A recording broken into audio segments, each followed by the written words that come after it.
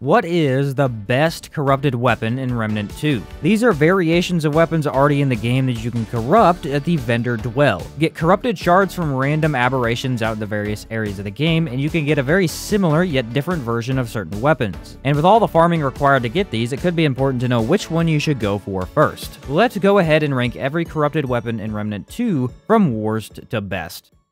Starting out at number 10, we have the Corrupted Cube Gun. This is not only the worst corrupted weapon, but also the worst weapon in the entire game. It's got no place on any build and does not provide anything to combat that matters whatsoever. So this gun fires large cubes as bullets, and what's cool is that it has infinite ammo, letting you have a reliable option in longer fights. However, it also overheats, and it does so faster than any of the other overheat weapons that we have. Basically, in the first 3 seconds of firing it, it's going to overheat, requiring a very long reload animation that stops all of your actions. You can get around this by wearing the microcompressor ring or using the Ingenuity mutator on it, making it overheat hardly at all. But then you deal almost no damage with it. On top of that, the projectiles don't seem to be working correctly at the moment, and at least half of them deal zero damage. Seems to be when two cubes hit the same target at the same time. Obviously, it's a major issue that hurts it quite a bit. Then there's the mod. You're going to conjure a large cube around yourself that is affected by amplitude, and it greatly reduces heat generation and generates missing reserve ammo, which is kinda cool. It lasts a good amount of time, but is completely worthless. All of the overheat weapons you could use this with, that being only two of them, don't have any overheat issues. On the bone saw, you simply throw on the microcompressor ring, and for the plasma cutter, its own mod fixes the overheat. So you're only using this mod to help the corrupted cube gun, and since it already has infinite ammo, it doesn't even benefit from half of its own buff. This is a terrible item and by far the worst to ever be added into the game, mainly because the benefit that it brings to the table is not usable or wanted by anyone playing Remnant 2. And the cube gun is far better in every regard, being able to block all projectiles with its mod. Worst weapon in the game in an easy F tier. In fact, I'd put it even lower if we had a lower tier. The corrupted Aphelion is really not all that different from a regular Aphelion. Instead of shooting out one massive line, it shoots out three smaller ones, and the mod shoots five orbs instead of one. The item's definitely better than its brother version, being a bit more fun to use and having far better mod regen. You really don't want to be using this for range damage because it doesn't have much ammo and is just worse than most of the other range options we have. Instead, you're going to use it for a mod build. Throwing on the feedback mutator, it's going to completely regen its own mod every single time you shoot out the orbs. Make sure to hit the orbs with the gun projectile and they deal even more damage. Infinite mod energy with high explosion damage. And overall, it's just bad. Mainly because every other explosive option we have, which keep in mind there are many, they're all way better, and easier to use for that matter. This requires that you shoot the orbs after sending them out, and with its low magazine, you need to reload way too often. It does have the benefit of pushing back or moving enemies, even some bosses on impact, but still not all that useful. And they even reduced this gun's overall stats compared to the original for no reason, really. Not bad by any means, but when compared, it's basically worthless. D tier.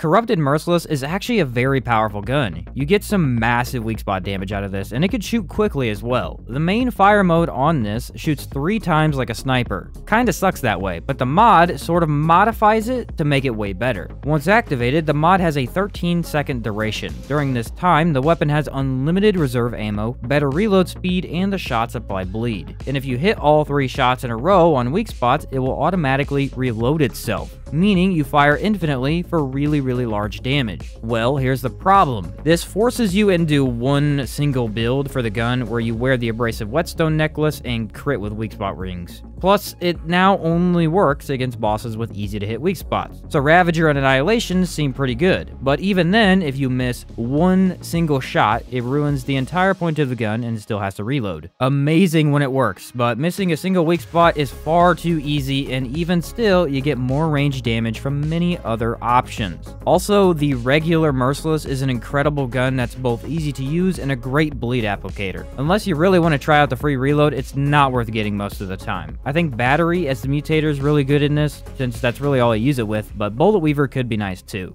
D tier. Corrupted Nebula is a complete monster. You can deal so much damage in a short amount of time that it trashes bosses way faster than it should. But it really is not that great in the long run. So this gun gets 15 bullets, they each need shot out individually. No more automatic fire like the original gun. Pretty low range damage all things considered, and hitting the target over and over gets old quick. The big benefit here is the mod. If you hit weak spots or get kills, a nanobot is going to be created. This nanobot attacks the enemy for a while. Then, you use the mod to explode any of the bosses you've created with a very, very large detonation. With the feedback mutator equipped, it can be activated 3 to 4 times in quick succession, exploding for thousands of damage each time, making it the most powerful corrupted weapon we have in theory. But here we run into two large issues. Number one, it only works on weak spots, which takes out a very large portion of the bosses, and even some of the ones that have weak spots hide it often. Number two, it requires a decent chunk of time to hit the explosion three total times. I tried this against the Ravager, and even with his massive weak spot, I could only detonate the thing one time since he's so aggressive. And by the time you dodge, the nanos are gone, so you need to reshoot and detonate all over again. It's a very strong boss deletion gun, but for it only working on elites, aberrations, and bosses, it requires some effort to use. And in the end, I prefer the original Nebula as it's one of the best sidearms in the game with a very strong and always reliable mod. C tier. Corrupted Arbalest is one of my favorite additions to the game. Now, the regular Arbalest got its tracking improved when this gun dropped, making both way better than they could have been before. And while both are great for explosion builds, they have several differences that mean quite a bit. This version gets 8 total bullets per magazine, while the original only got 1 and if we use the Bandit mutator, you hardly ever have to reload it at all. The regular fire is not all that amazing, although since it bounces between targets several times, you can get really quick mod regen from it. The mod here is the highlight, as once activated, all of your shots explode. This lasts 15 seconds and also grants faster fire rate with less recoil and sway. With some crit and mod damage on your build, it will deal really solid damage. We do already have really good explosive options in Remnant 2, so why would you choose this over something else? Well, actually Its ease of use is really, really high. It can be shot at bosses and bounce all the way to other enemies in the fight, letting you clear out extra mechanics in the arena without stopping the damage on your main target. It can be invaluable in dungeons, bouncing around corners and exploding things you didn't even know were there. By no means the best blower-upper that we have, but an excellent pairing for other options that don't really deal with ads all that well. And like I said, with the Bandit Mutator, it has so much ammo that there really is a lot of fun to be had here. B tier.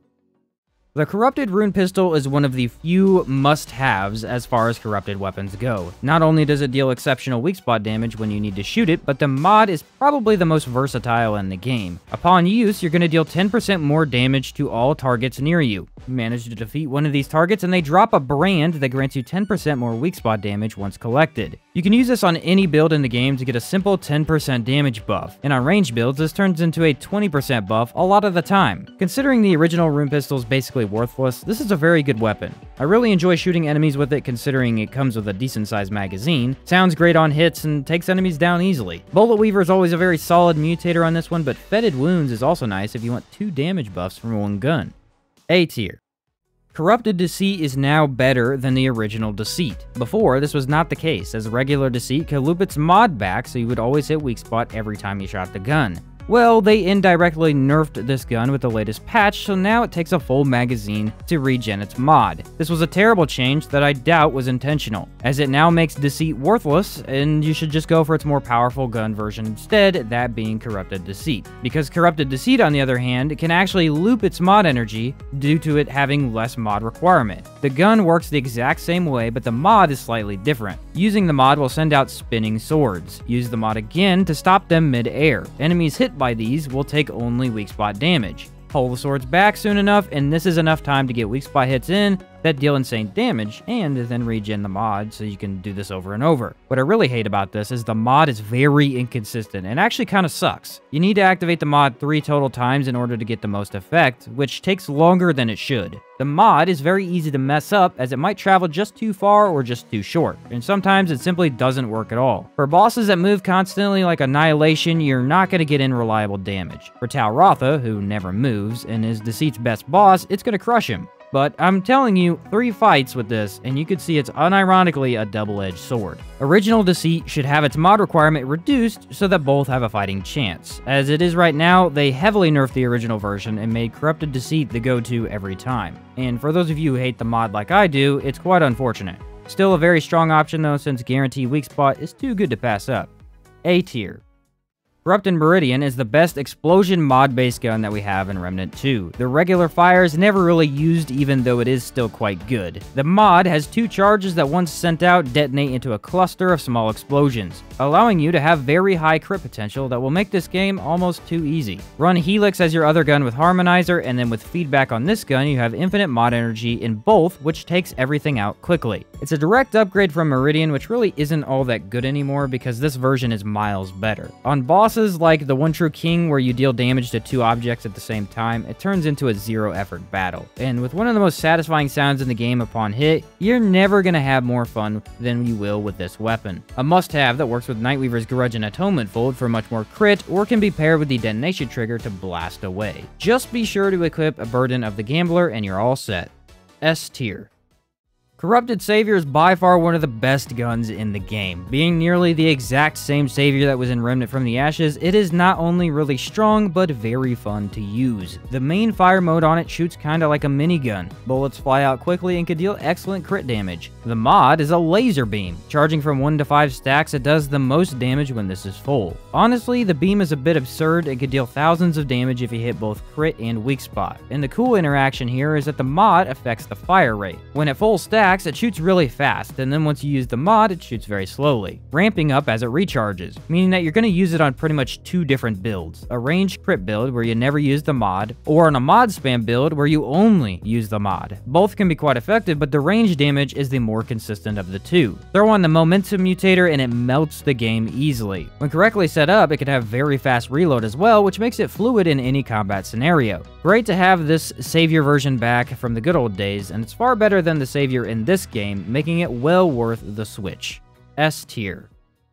And now for the single best corrupted weapon in Remnant 2, that being Corrupted Sorrow. I was on the fence about this one, but man, it is by far the best once you figure out how to use it. Honestly, it isn't all that different from regular Sorrow. So you get the same gun that's much more powerful. This fires very slow bolts into your enemy that stick there. At a max of 10 bolts, you can then use its mod to send out an orb for each of the bolts that tracks to the enemy. Right off the bat, this does really strong damage if you set it up for crit. With Guaranteed Crit, you just melt bosses and can use this effectively in dungeons as well. But the interesting thing is, these orbs can not only crit, but for some reason weak spot. So instead of running Burden of the Gambler, you throw on Zania's Malice and have an instant free win button. The orbs themselves have to hit the weak spot, obviously making this not possible a lot of the time. Simply aiming a little up before you hit the mod allows it to track much better, and with the near instant mod regen, you activate it after every 10 bolts that you shoot out. Never need to fire your other gun, never need to do anything special at all. Just shoot, use mod, shoot, use mod, and completely rinse the game. I like to use Momentum as the mutator as you're dealing high ranged and weak spot damage, but Bullet Weaver could be great too. The one downside is that this gun truly does shoot very slowly, but when you have tracking damage that deals thousands per hit, that doesn't really matter at all. These orbs actually can heal allies for 10% of max health if you shoot your teammates instead, which is fun and a unique interaction, although not why this gun is good. Either way, this is an absolutely disgusting weapon right now, and once you get used to its playstyle, you'll be astonished at how fast bosses go down. S tier. And there you have all corrupted weapons in Remnant 2 ranked from worst to best. Each is at least fun to use, all except the corrupted cube gun, which just has no place in the game. I do imagine it's going to get fixed here soon, so that at least it'll be usable, but unless they change that mod, you should just ignore it altogether. Nice to have some fun variations of other weapons that give you more ways to mess around with builds. Maybe someday we'll see some corrupted melee weapons, but for now, these are going to do nicely. Thanks everyone for watching, and I'll catch you next time.